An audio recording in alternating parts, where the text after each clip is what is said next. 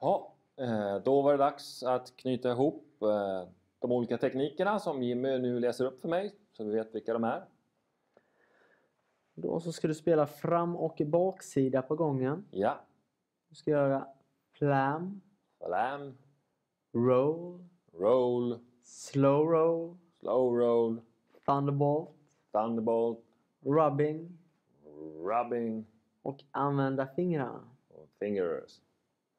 Då ska vi se, då sätter vi ihop det här i ett litet live performance. Så börjar vi.